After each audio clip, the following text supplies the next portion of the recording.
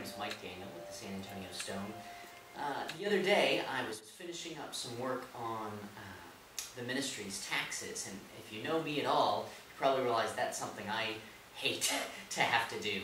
Uh, it seems most of the time that kind of administrative task for me and my calling and where God uses me most often is off task.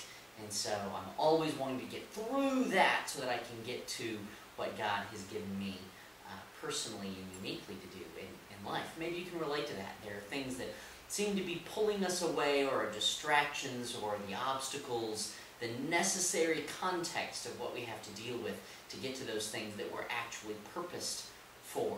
And uh, so it was a drag. And, and then I remembered the, the word from the Apostle Paul that said um, that to follow all of the government's ordinances, every ordinance of government, as an act of worship to God. And I thought, wow, what a challenge that is to me to do my taxes as an act of worship.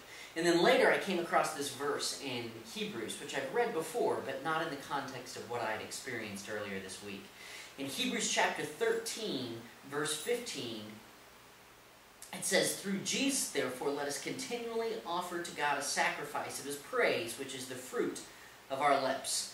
Confesses his name. In other words, we are about the business in every venue of the fruit of our lips being uh, an offering of sacrifice, of praise to God. Well, what I was doing was a greater sacrifice if I was doing it unto God than anything that I would like to be doing that I think is more purposeful in my life. The greater sacrifice was to do my taxes as an act of worship. You know, it's interesting, Louis Giglio, in his book, The Air I Breathe, makes a statement about, you know, if there's fruit, then it's coming from some kind of root. And so I think about what I'm rooted in, uh, where, where I drive, the root of my life. My soul is rooted in something that produces fruit in my life. In the midst of that moment of driving downtown to take care of some tax issues, how important it would be for me to be doing that out of the root of my life of Christ as my source. And so out of that root, he can produce fruit that confesses and is the dispensation of his grace in this current age. For you today, let me challenge you.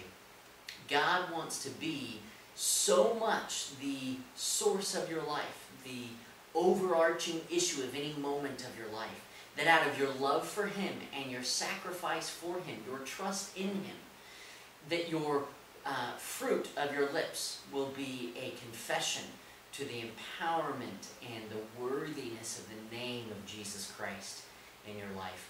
Be so rooted solically in your heart, mind, will, your emotions, that and so rooted in the person of Christ that everything you do displays the fruit of His grace as an act of worship to Him.